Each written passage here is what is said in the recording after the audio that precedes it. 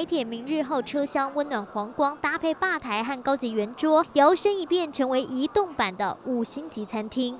您好，在帮您准备今天的主餐。粉嫩色泽五谷牛小排煎的恰到好处，从桌面摆设整体氛围到餐点设计，低调奢华，瞄准旅游高端族群。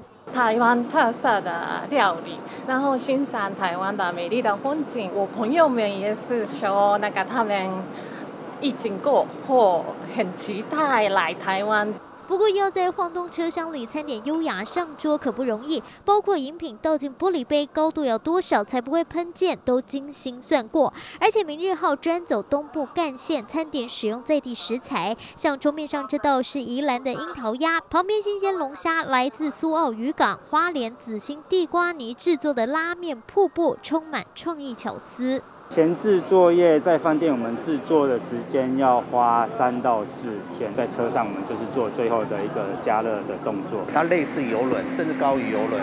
收客上间五十四位，但是直接服务到旅客的，哦，大概就要超过三十位的服务人员。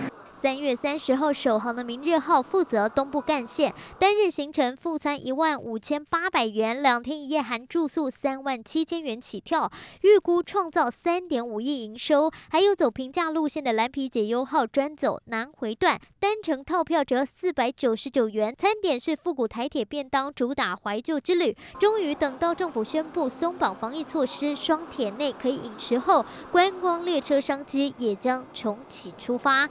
华宇。新闻张家宝、黄玉竹台北报道，请订阅、按赞、分享华语新闻 YouTube 频道，并且开启小铃铛，及时掌握全球时事与最新趋势。